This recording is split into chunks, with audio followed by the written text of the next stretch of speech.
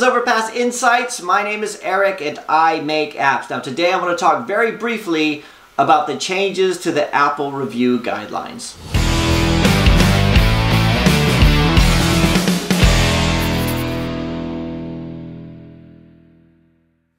Okay, so the purpose of today's video is just to bring your awareness to the changes that Apple announced last Wednesday. Last Wednesday, the 4th of March, Apple announced that they were going to make some changes to Apple sign-in, to the requirements for having to use iOS 13 when you release an app to the App Store, and also changes to the review guidelines. So if you have a look at their website here, there were three, well, four big news stories that came out, updated resources for signing with Apple, um, you submit your apps to the iPad apps using iPad OS, all that kind of stuff. But the main one I want to focus on is the update to the review guidelines because it's hugely important for app developers to know, especially if you do iOS app development or you do work apps for clients or even as an Android developer, if your app takes off big, you're going to want to move it over to iOS at some point.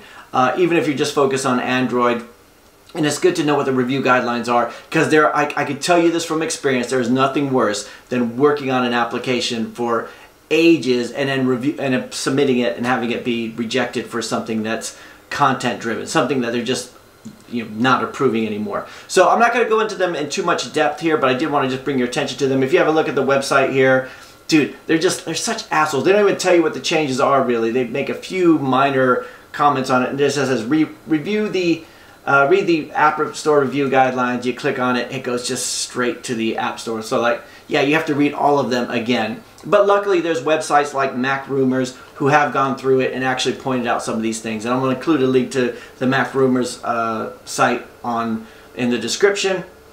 But uh, there's a few of them here about you know apps that attempt to commit or attempt to commit crimes of any kind or help users evade law enforcement will be rejected. Like that's pretty standard. Uh, but the, the two that I wanted to point out were the changes to 4.3. Apple 4.3 guideline is something that I've been struggling with for years. I had all these language games out that were learning different languages and they said, oh, that's spam. You're, you're, releasing too many of the similar types of games and they started to reject them. But there's some categories that they reject just straight out of hand. Now recently, just last Wednesday, they started rejecting fortune telling apps and dating apps which have been added to fart, burp, flashlight, and Kama Sutra apps. So those kind of applications are just, you know, you're going to have trouble submitting them unless they provide a unique high quality experience.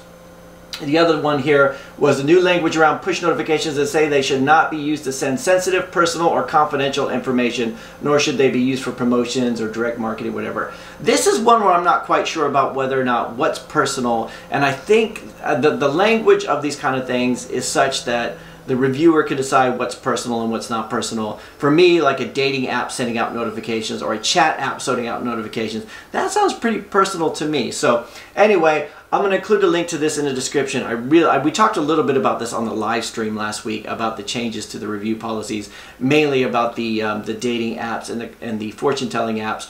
But you know, there's a lot of these things to look at, and um, you know, hopefully it won't affect too many of you guys. Hopefully it won't affect me. So anyway, that's it for today. Really quick video, uh, and that, that's it. I'll talk to you guys again tomorrow.